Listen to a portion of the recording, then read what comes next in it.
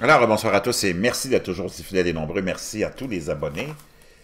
Sans exception, vous êtes tous exceptionnellement fantastiques. Merci d'être là. Ceux qui ne sont pas encore abonnés, venez nous rejoindre. Euh, vous n'allez vraiment pas le regretter. C'est une grande famille. Puis ce qui nous unit, non seulement c'est notre volonté de comprendre avec la rationalité, mais c'est notre euh, aussi hein, notre langue parlée. Merci d'être là. On est le 20 novembre 2019, 18h28, heure du Québec. Vous le voyez, j'ai beaucoup, beaucoup de messages hein, qui me sont envoyés de gens qui commencent à comprendre ce que je veux dire quand il y a plein de choses qui nous attendent. Parce que ça commence vraiment hein, à émerger. Là, on est vraiment entré dans une phase finale, je dirais, avant le grand choc pour tout le monde. Et on le voit, ça commence. Hein, euh, 20, 20, au moins 20, 20 à 25 pays où il y a des manifestations quotidiennes de mécontentement. Ça, c'est au niveau social. Il ne faut pas oublier l'Afrique, qui euh, est toujours sous euh, l'emprise de tyrans et de misère incroyable. On l'oublie beaucoup, hein. on ne veut pas nous en parler parce que ça bouille là-bas aussi. Ces gens-là vont vouloir euh, qu'on leur rende des comptes à un moment donné. Sans compter le Moyen-Orient qu'on a mis à feu et à sang, nos dirigeants ont mis ça à feu et à sang. Et l'Amérique latine, l'Amérique du Sud aussi, à feu et à sang dans les 30, 40, 50 dernières années, des gens qui auraient dû terminer en prison, comme Henry Kissinger, les présidents américains, entre autres, et tous ceux qui les ont suivis, mais naturellement, il n'y a rien de ça qui arrivera, on le sait bien. Sans compter les changements climatiques qui sont en train de vraiment euh, évoluer rapidement. Ça n'a rien à voir avec le, le CO2 ou ça n'a rien à voir avec l'industrialisation. Ce qui a à voir avec le, CO2, c'est rien. Il n'y a rien. C'est juste là, puis on en a besoin pour l'oxygène et la vie des plantes. Je ne sais pas pourquoi on s'attarde au CO2. Alors que le problème de l'industrialisation, c'est la pollution. C'est les déchets, c'est la consommation excessive dans laquelle on nous envoie, puis on nous envoie. D'ailleurs, j'ai reçu deux liens, on va aller voir ça. Imaginez-vous, le Liban continue de se noyer sous les déchets. Au Liban, les manifestants réclament depuis des semaines la résolution des graves problèmes environnementaux du pays, parmi lesquels figure la crise des ordures ménagères au Liban. De nombreuses plages sont trop polluées pour s'y baigner, en cause des déchets produits par le pays qui ne sont pas traités et qui finissent dans des dépôts sauvages ou des décharges à ciel ouvert.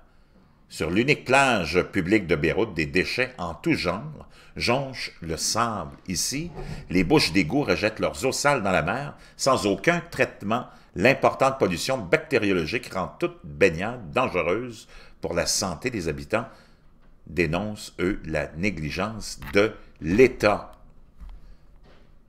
Et ça, c'est sans compter la Chine.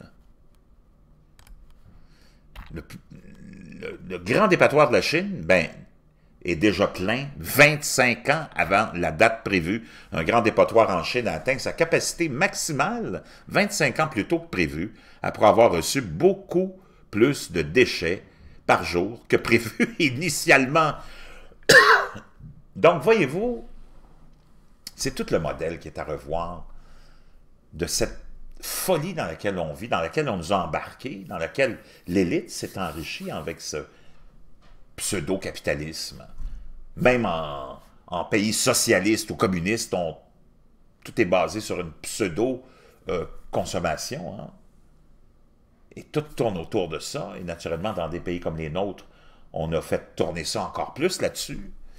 Puis là, maintenant, on est pris avec une centaine d'années de consommation excessive qui s'est intensifiée au cours des dernières années et c'est une crise majeure, on n'en parle pas. Ça, c'est deux pays, mais c'est partout, partout le problème des déchets.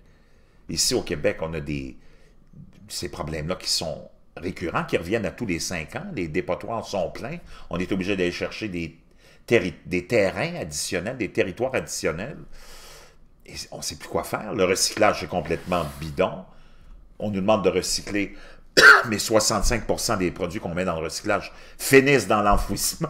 C'est complètement absurde parce qu'on nous pousse à consommer toute notre économie, toute cette richesse, tout ce système complètement bidon est basé sur la consommation. Donc, ça n'a rien à voir avec le CO2, une, une, pseudo-crise qui n'a aucun, aucun fondement scientifique.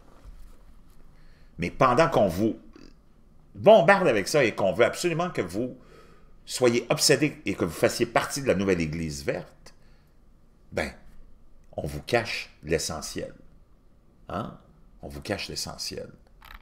Et l'essentiel, c'est ça. C'est l'histoire des poubelles. C'est l'histoire de la consommation. C'est l'histoire des océans qui sont utilisés comme des poubelles, les cours d'eau, la terre, l'air. Le CO2 n'a rien à voir avec la pollution. Le CO2 est incolore, inodore, sans saveur et est essentiel à la vie. Donc, un grand dépotoir en Chine a atteint sa capacité maximale 25 ans plus tôt que prévu, imaginez-vous. La décharge de Jiangkongu, dans la ville de Xi'an, a été construite en 1994 et devait durer jusqu'en 2044. La décharge sert plus de 8 millions de citoyens. Il couvre une superficie de près de 700 000 mètres carrés, 150 mètres de profondeur et une capacité de stockage de plus de 34 millions de mètres cubes. Jusqu'à récemment, Xi'an était l'une des rares villes de Chine à ne compter que sur les sites d'enfouissement pour éliminer les déchets ménagers, ce qui a permis d'atteindre rapidement la capacité plus tôt. Ce mois-ci, une nouvelle usine d'incinération a été ouverte et au moins quatre autres, euh, quatre autres devraient être ouvertes d'ici 2020. Ensemble, elles devraient pouvoir traiter 12 750 tonnes de déchets par jour. Regardez-moi ça, c'est hallucinant. Selon l'annuaire statistique du pays, la chaîne a collecté 215 millions de tonnes de déchets ménagers urbains en 2017 contre 152 millions de tonnes euh, dix ans plus tôt. On voit quand même l'augmentation. Il existe actuellement 654 sites d'enfouissement à travers le pays et 286 euh, usines d'incinération. On ignore quel est leur taux de recyclage, car ils n'ont pas publié de chiffres euh, à ce sujet-là. Donc, euh, incroyable. Vraiment, la plus grande crise, c'est probablement la crise des déchets qui est reliée à la crise de consommation, qui n'a rien à voir avec le CO2 qui est là pour... Sans le CO2, il n'y a pas de vie. Donc, voyez-vous dans quel encore là, parce que les politiciens ont, utilisé, ont, pris cette voie-là parce que c'est la voie de la facilité. Le CO2, sauvons la planète, le réchauffement climatique qui ne vient pas.